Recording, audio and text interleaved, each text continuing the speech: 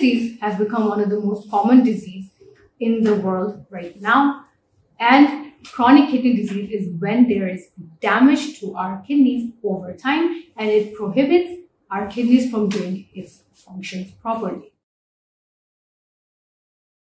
Hi, I'm Dr. Ritakshi, a medical doctor and a clinical nutritionist. Welcome back to my channel. Today we're discussing about chronic kidney disease. Now our kidneys have a lot of important functions that help balance our body. So this includes getting rid of all the natural toxic products and the excess water in our body. It helps in making red blood cells. It helps in maintaining our blood pressure levels. Also, it maintains a balance of our minerals and it also helps in our bone health as well. So in chronic kidney disease, we have a damage to our kidneys over a period of time, specifically more like three months. So if your GFR is high, that means your kidneys are not functioning properly. Talking about signs and symptoms. Well, CKD is divided into stages 1 to stages 5, stage 5 being the worst. So developing any symptoms of CKD usually does not happen. People do not get these symptoms until they're on the advanced stages. But if people do have some symptoms, then they would include urinating frequency has changed. They're going more or less than usual. They could have foamy urine. They can have a loss of appetite. They can have fatigue, vomiting, nausea. People who have advanced stages of CKD would also notice symptoms such as trouble concentrating, nausea, vomiting, cramps, muscle cramps, swelling in their body parts, especially their feet, arms, and legs. There is weight loss when you don't have any intention of losing any weight. There is also trouble breathing and your breath would smell like ammonia. Moving on to the causes of chronic kidney disease. Now, anyone can develop CKD at any age. However, some people have a higher risk of developing CKD. These risk factors include high blood pressure, heart disease, obesity, age of over 60, family history of kidney disease or having CKD, and you can also have an acute kidney injury. Other causes of CKD can be caused by circumstances and conditions that a person might be going through. These would include obesity, glomerular diseases, lupus, which is an autoimmune disease.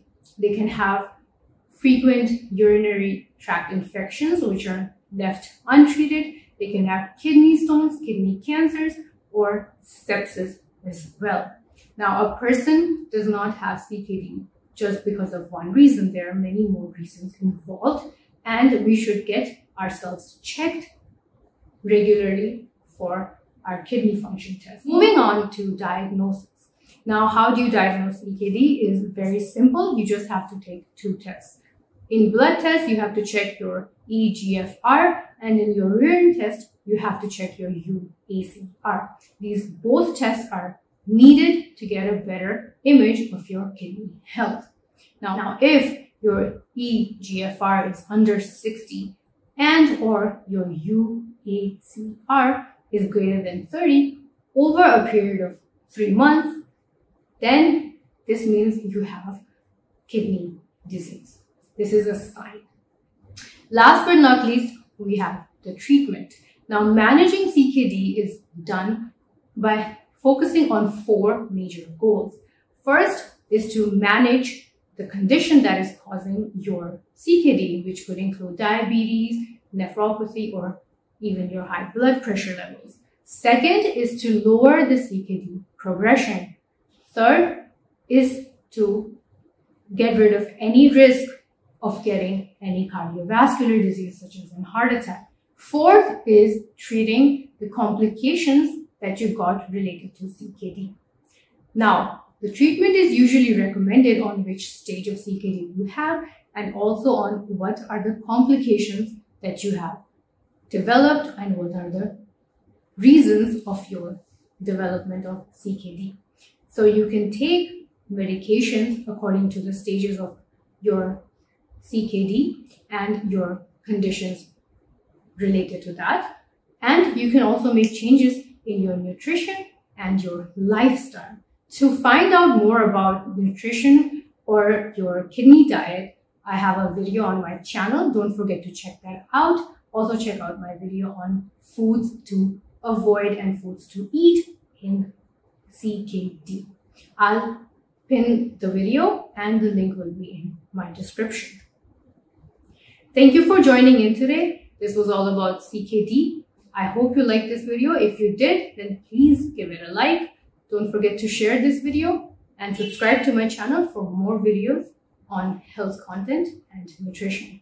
Till next time, see you. Bye.